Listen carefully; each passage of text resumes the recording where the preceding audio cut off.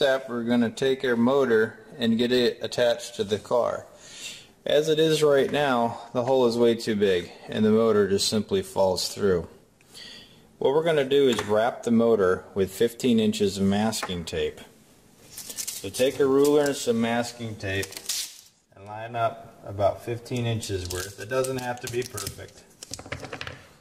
Now I'm going to take this tape and wrap it around the motor.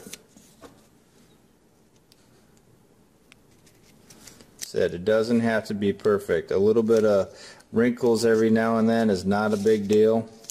It actually helps in the long run.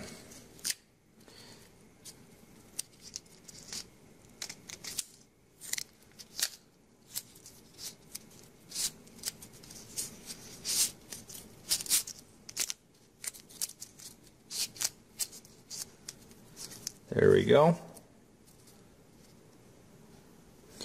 Now when we take our motor and we can put it into this hole, it fits snugly. It allows us to slide it in and out of that hole with some friction so it doesn't just fall out.